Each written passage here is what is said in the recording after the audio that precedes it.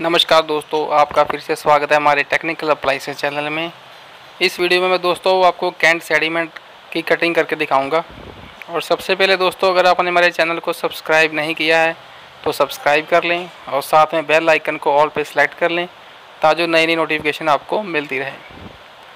ये दोस्तों हमारे पास कैंट का इनलाइन सेडिमेंट फ़िल्टर है। इसकी दोस्तों हम कटिंग करेंगे और देखेंगे कि इसकी जो डिज़ाइनिंग है वो कैसे है अंदर से और इसमें क्या क्या लगा होता है। हम दोस्तों इसको हैंड ग्राइंडर की मदद से कटिंग करेंगे। आप इसका इस्तेमाल घर पे ना करें। इसके दोस्तों हम फ़िल्टर के हेड को काट लेंगे। इसके अंदर दोस्तों पानी होता है। क्योंकि ये यूज़ किया हुआ है, इसमें से पानी बाहर निकलेगा।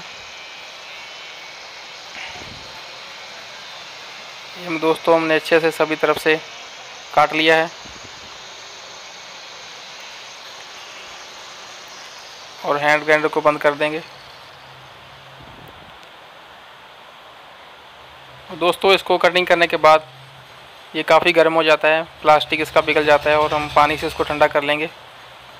और ये देखिए दोस्तों, इसको खोलने के बाद ये इसका आप डिज़ाइन देखिए।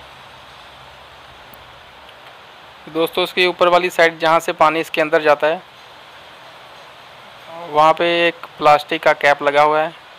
ये पानी को फैलाने के लिए अभी सभी तरफ़ पानी बराबर बराबर फैल जाए। इसके लिए इन्होंने यहाँ प्लास्टिक का कैप लगा रखा है अंदर। बहुत ही बढ़िया डिज़ाइन बनाया है। और दोस्तों, इसके अंदर देखिए, ये धागे की टाइप स्पन फ़िल्टर लगा हुआ है। जैसे धागे को हम रोल कर देते हैं, वैसे ये देखने में लगता है। और ये अंदर से यहाँ पे दोस्तों फिक्स किया हुआ है ताकि जो पानी सेंटर से अंदर ना जाए, बाहर से ही अंदर जाए।